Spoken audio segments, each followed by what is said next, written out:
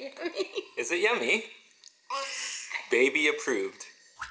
Today we're going to be installing the WaterDrop G2 P600 reverse osmosis water filtration system.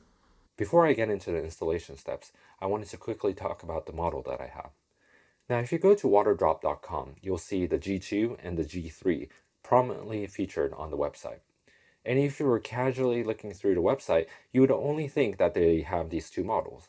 But if you go into the product section and scroll all the way down, you'll see that there's another variant to the G2, and that is the G2 P600. Now, the only difference between the G2 and the G2 P600 is the flow rate. With the P600, you get 600 gallons per day instead of 400 gallons per day, now you do pay a little bit in premium for this, but uh, when I was looking comparing these models, I thought that faster flow rate was worth the $50 in investment. All right, let's talk about installation steps.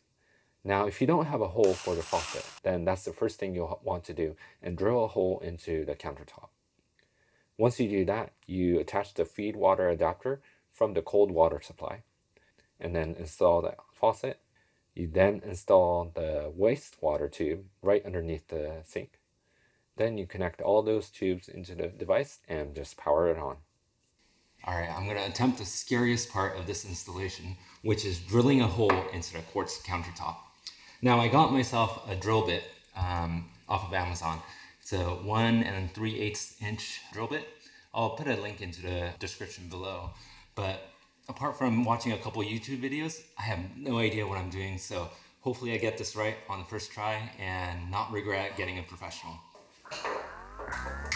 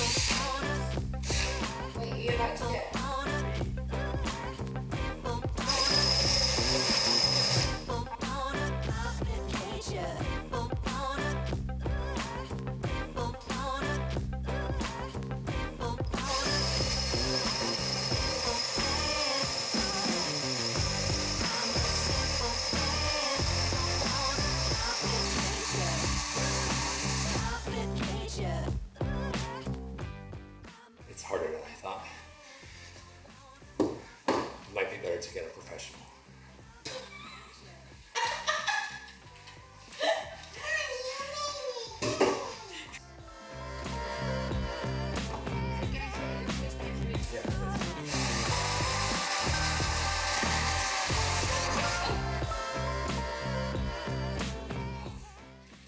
Oh do not do this at home. Definitely harder than I thought. Um, it looks like the hole is really good, I guess. Uh, I might have scratched up the surface, so let's take a look. It's a very ugly hole. Yeah, not very happy with this. Hopefully cover, the faucet will cover up most of it, but we'll see. Now I'm going to turn off the cold water supply and attach this thing.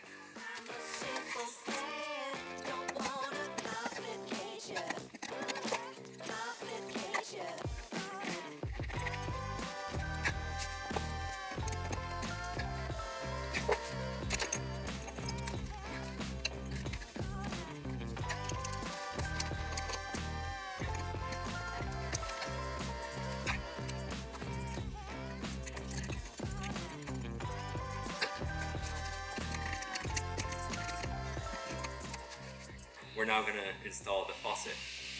Faucet's really straightforward. So you drop it into the hole, and then you have this black washer that goes underneath, and then this nut holds it into place.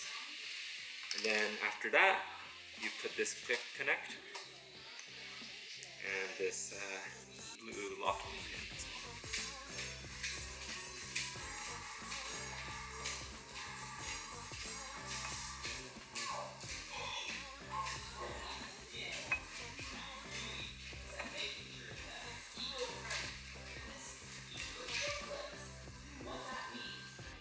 Ready to install the drain pipe now. So what we're gonna have to do is drill a quarter inch hole into into the drain and by doing so we'll be able to install this drain saddle.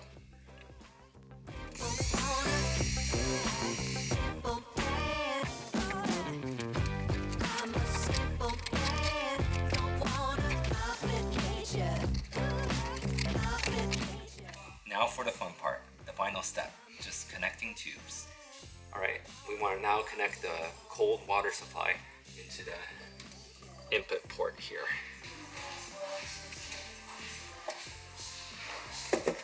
Okay, make sure that the black mark is all the way fully inserted, just like that.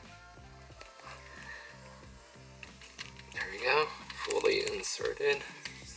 And then finally, we're gonna connect the wastewater line, which is the red one, into the last hole here, marked W.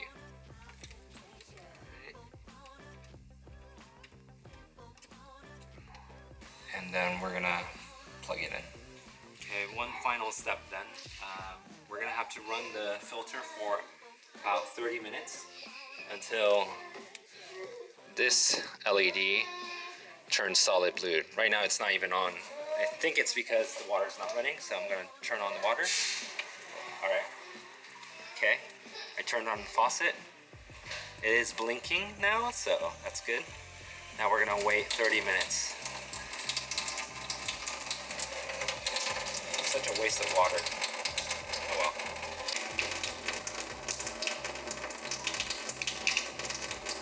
Now it's been 30 minutes. This LED is now solid, so we can turn off the faucet now. All right. Taste the water.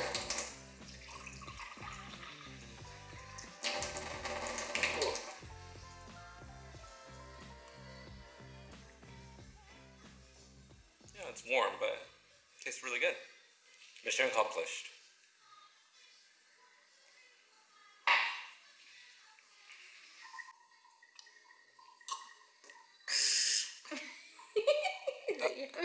Is it yummy?